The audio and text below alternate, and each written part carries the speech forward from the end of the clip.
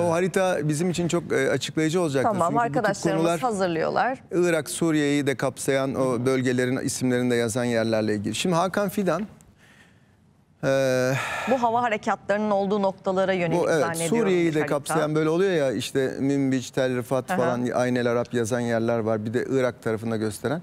Oralarda ha sopa da geldi Levent görmüyor ama Ee, şeyde pointer daha doğrusu. Sopa mı, sopa mı, oklava mı abi? Daha çok Suriye'nin gözüktüğü bir harita Ya istiyoruz. ikisi birden. İkisi ikisi birden bir- olsun. Çünkü bu bir Peki. harekat konsepti. Bunu genel çerçevesinde anlatmak gerekiyor. Tamam peki. Ee, Şimdi bugün Irak Savunma Bakanı'nın buraya gelişi Evet. tesadüf değil. Son anda ayarlanmış bir şey de değil. Bunlar e, Hakan Fidan'ın yaklaşık bir ay önce yaptığı çok kritik bir Moskova ziyaretinden önce bir Irak ziyareti vardı. Bunları onlarla eklemlendirebileceğimiz bir geniş harekat e, sürecinin, bir geniş aslında taktik planlamanın uzantıları. Hakan Fidan e, normalde bu tip e, açıklamaları işte görevine gelen 4-4,5 ay oldu ama e, çok sık yapmıyor. çok Yapmıyor, medyonda doğru. görünmüyor. Ama ilk kez bu kadar içi dolu, doğrudan uyarıları içeren ve Türkiye'nin bu konudaki kararlılığını seslendiren bir İlk açıklaması. açıklaması. Dün tabii Hakan Fidan'ın açıklaması ve beraberinde bu toplantı, bu görüntüler de gelince ya ne oluyor diye Şu hareketlendi. fotoğraftan bahsediyorsun. Tabii İbrahim ya, Kalın ne Hakan. oluyor? Herkes Tabii. orada. Herkes orada. Ee, ve bu toplantı aslında orada da yapılmıyor. Bir masada bir araya geliniyor. Yani böyle bayram ziyareti gibi yapılmaz bu Sonrasında toplantılar. ya da öncesinde Tabii, tabii. çekilen bir fotoğraftır. Yani, Kamuoyuyla paylaşmak Tabii üzere. tabii bu bir görüntü anlamında. O masada çünkü bir sürü evrak var, harita var, şu var, bu var. Ee, orada yani e, Genelkurmay Başkanı'nın, Savunma Bakanı'nın, işte MİT Başkanı'nın, Dışişleri Bakanı'nın ve e, İçişleri Bakanı'nın olması devletin iç ve dış güvenlik birimlerinin istihbaratı ile birlikte e, tek bir e, koldan koordinasyon içinde hareket ettiğinin mesajını da içerir. Burada ha, teşekkür ederim harika bir harita geldi. Levent müsaadenle O anlatacağım. zaman Metin abi sizi ayağa Şöyle alalım. söyleyeyim. Bakın bu iş ya ne hallere gel. İşte kınadığını Şimdi yaşamadan bir ölmez. Musul'dayken biz Kınadığını yaşamadan ölmez. şimdi bir Musul'daydık. Dur. Şimdi sağdan aldığım bilgilerle bu da çıktı. Ee, şimdi bakın burası İran'dan bilmiyorum gösteriyorum. İran'dan Evet, şöyle düşündüğümüz zaman çekiyoruz. Buraya kadar geliyoruz. 25-30 kilometre derinliği düşünerek geliyoruz. Hatay'a kadar İdlib'de kapsayacak şekilde şuraya kadar bir bölgeden bahsediyoruz. Bu bölge 25-30 kilometre Türkiye'nin aslında defakto olarak e, 2016'dan beri başlattığı Suriye merkezli ee, işte Fırat Kalkın Harekatı ile başlayan 24 Ağustos'ta 2016'da başlayan harekatın sonrasında gerçekleştirdiği dört ana harekatın e, bitiminde gelinen nokta. Şu an Türkiye'nin e, Hakan Fidan'ın açıklamaları çerçevesinde yapmak istediği bu 25-30 kilometrelik alan içinde Türkiye'ye yönelik içeride terör eylemleri, dışarıda Türkiye'nin birliklerine, askerine, e, sivil personel yönelik saldırıları engelleme amaçlı genel bir yeni düğmeye basıldığını gösteriyor.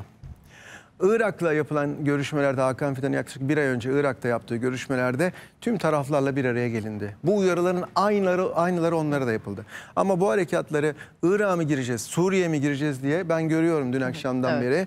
Karadan mı gireceğiz, havadan mı geçeceğiz falan filan diye çok heyecanla karşılamayalım. Bu bir, çok uzun süreden beri devam eden, Tabii. en az 6-6,5 yıldır süren bir Türkiye'nin yeni stratejisi, savunma konseptinin uzantısı. Türkiye İran'dan Hatay'a kadar bir hat çekiyor 25-30 kilometre derinliğinde. Neden 25-30 kilometre? Çünkü herhangi bir roketli işte buna benzer silahlı saldırıda Türkiye'nin menzilin dışında kalmasını istiyor Türkiye. Kendi topraklarında çünkü çok acı yaşadı, çok saldırıyla karşılaştı. Bir kara harekatı olur mu olmaz mı? En büyük sorulardan, Tabii, meraklardan biri. Dün akşam ortalık oldu. bir karıştı. Gidiyoruz, hadi bu akşam geçiyoruz diye. Şimdi bu bölgeyi çok yakından bilenlere özellikle bir şey hatırlatayım. Türkiye'nin gerek Irak'ta, gerek Suriye'de yerleşim ve konuşlanma imkan ve kabiliyeti çerçevesinde içeriden yani Türkiye topraklarından Suriye ve Irak'a geçmeyi gerektirmeyecek derecede yeterli güçlü bir askeri altyapısı var.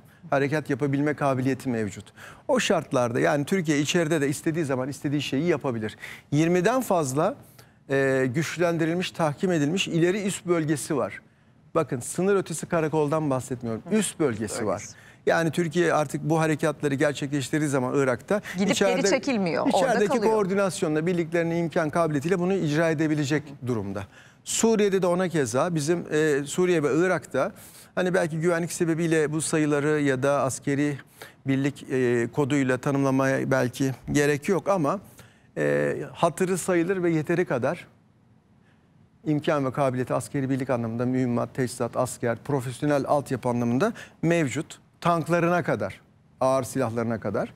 Türkiye burada tabii keyif için işgal edeyim orada kalayım diye de bulunmuyor. Birleşmiş Milletler Sözleşmesi'nin 51. maddesinin meşru müdafaa hakkına imkan tanıyan e, altyapısı çerçevesinde diyor ki Birleşmiş Milletler'e ve diğer ülkelere kardeşim bana sınırların dışından tehdit var.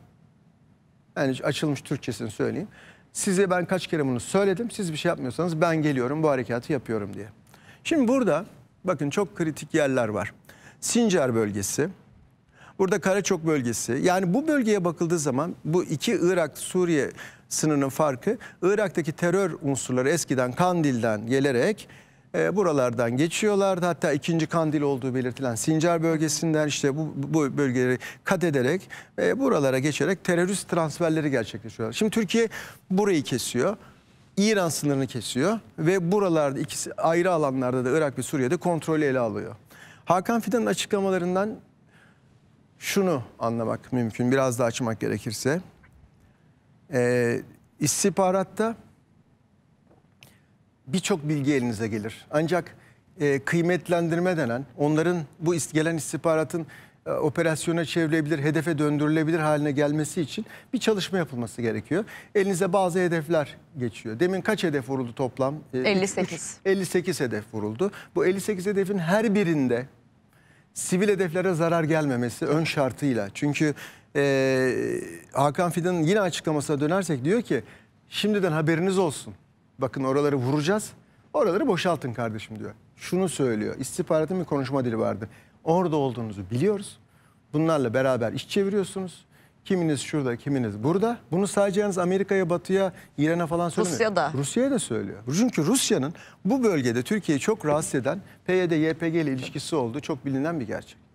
Hani Rusya iyidir, hoştur falan filan ama e, Türkiye e, bundan iki sene önce bu konuda rahatsızlığını Kremlin'e ilettiğinde maalesef sabah e, bir PYD, PKK heyetiyle görüşüldü. Öğleden sonra da bizim Dışişleri Bakanlığı heyetiyle görüşülmüştü. Yani çok rahatsız. Şimdi Suriye'de yani Türkiye diyor ki Hakan Fidan'ın ağzından kardeşim biz tespit ettik. Kim nerede ne var biliyoruz. Bakın vuracağız. Yeraltı, yerüstü tesisler işte buna bağlı. Enerji tesisleri ne var ne yoksa. vurgulamış. Buraları boşaltın diyorlar. PKK terör örgütü son dönemlerde Kandil ve çevresi de dahil olmak üzere Kuzey Irak'ta sivil yerleşim merkezlerinde oradaki konuyla hiç al- alakası olmayan yerel hal- halkla beraber yaşadığı bilgisi de var. Yani bu sivil hedef yani bir tane atarsınız bomba ama orada sivilleri öldürürsünüz. Çok tatsız, çok üzücü bir durumla karşı karşıya kalırsınız. O açıdan o uyarı da yapılıyor. Ama Suriye'de İdlib konusu zaten her an kontrol altında tutulması gereken çok sıkıntılı bir bölge.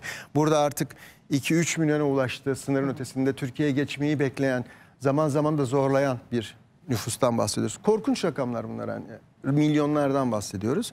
Ama Tel Rifat'ta, Münbiç'te, Ayneler Ap'ta bu eksende, Tel Abyad ekseninde Türkiye'yi rahatsız eden e, bu faaliyetler, bu e, Türkiye'nin işaret ettiği dış aktörlerle ilgili devam ediyor. Buralarla ilgili uyarı yapıldı. Kara harekatı bir Afrin operasyonunda gördüğümüz gibi Fırat Kalkanı, Zeytin Dalı, Barış Pınarı ve buna benzer Bahar Kalkanı gibi harekatlarda gördüğümüz gibi bir bu wipeout dedikleri süpürerek aşağı inen bir geniş kapsamlı harekat olmayacak. Ama Türkiye'nin elindeki yine imkan ve kabiliyetler, yerli ve milli kökenli akıllı mühimmatı füzeleri de içerecek şekilde e, atabileceği roketlerin, füzelerin e, kapasitesi ve kabiliyeti sınırdan ateşlenen bir füzenin buraları nokta atışıyla vurabilmesi gibi bir imkan da elinde tutuyor. İlk akla gelen kara harekatı olmamalı Değil yani bir hava harekatı ağırlıklı olacaktır. Ve zaten aslında dün Hakan Fidan'ın açıklaması olduğunda e, ardından sonra bir harekat gerçekleşti ama iki harekat gerçekleşmişti. Tabii.